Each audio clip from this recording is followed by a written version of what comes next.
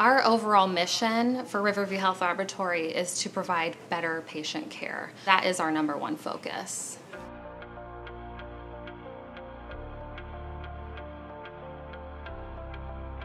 I work really closely with physicians, nursing, and a lot of the other clinicians in the hospital to look at all different ways to prevent the spread of infection.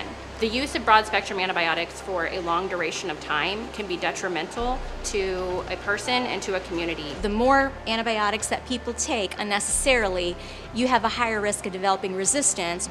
Since Verigene has been implemented at Riverview Health, the turnaround time is a lot quicker to obtaining the culture results. We can identify what the bug is and identify what antibiotic is appropriate for that specific patient.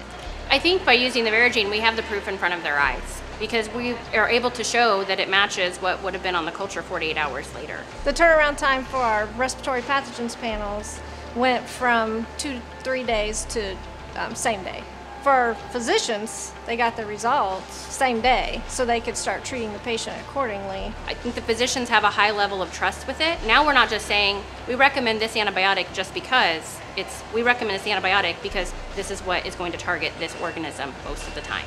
We have a very good collaboration with our patients, our doctors, and our clinical team. We all respect each other's professions and work as a team here. My favorite thing to do in this role is to interact with the other departments in the hospital. Come to find out, everyone's very impressed and they're very happy that we can get them results really fast. I feel that it's very rewarding to help patients who have a serious infection and we can target the right antibiotic for their infection and help them feel better and get better and get out of here sooner.